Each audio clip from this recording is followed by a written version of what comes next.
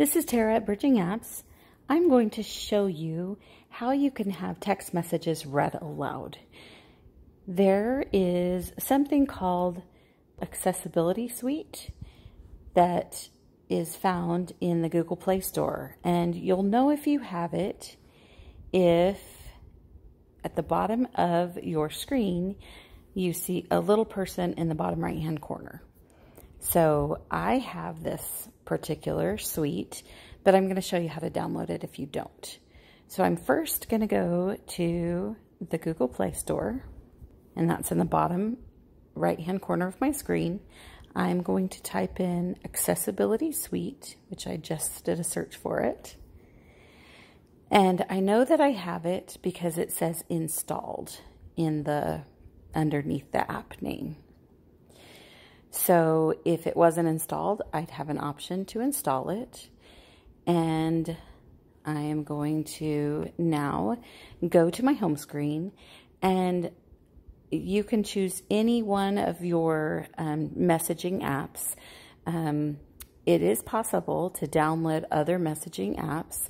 I've got three on my device and um, I've got the messaging app for Samsung which is in the bottom of my screen with the blue icon and the white speech bubble. I have a Messaging Plus app, and which is red with the white speech bubbles. And then I have another messaging app that is Google Messaging. I tend to like the Google Messaging app. It's the white bubble or white icon with the blue speech bubble. Mainly because I can copy and paste from it and I can select specific messages. So I'm just going to show you how I use it. I'm going to go ahead and select the messaging app and I've made this my default um, text messaging app. So I'm going to go ahead and open up the strand. And when I say that I can select specific ones, I can hold it down and um, I could, it turns dark blue, and I can then tap on the little person in the bottom right hand corner, and that accessibility where I could have something read aloud comes up. I can oh, and Vic 3 Scuba 8 Google button. is verifying the phone hash of this device as part of setup. Learn more. HTTPS colon slash. Now, I went ahead and pressed the pause button because it's going to go and read from the top to the bottom, just like it was reading a page. I wish that when I clicked on the select message button and made it turn navy blue, it would just read that text. But unfortunately, it will read the whole thing unless I stop it. Um, and then I can uh, tap on the little arrow that goes to the left and I can filter through and cycle through to the next um, text. So I'm going to go through, it turns it um, green, and I'm going to press the play button. Saguchin Posef Google is verifying the phone hash of this device as part of setup. Learn more.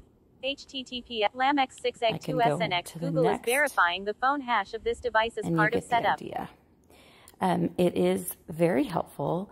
I will say that Apple I feel like within their accessibility uh, settings, when you turn it on and you hold down um, any one of these messages on an iPhone, you get options where you could just have it um, speak and it will speak the text or any text that you've selected.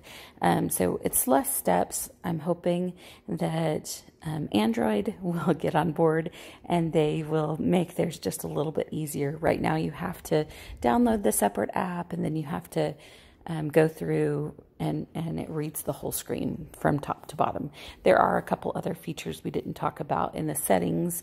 You can also change the rate of um, the speaking. You can also change the speech services, um, which I chose um, Google Speech Services, but you can kind of choose which ones. Um, you can choose the, the Android um, speech or Google. I think Google sounds a little bit more natural.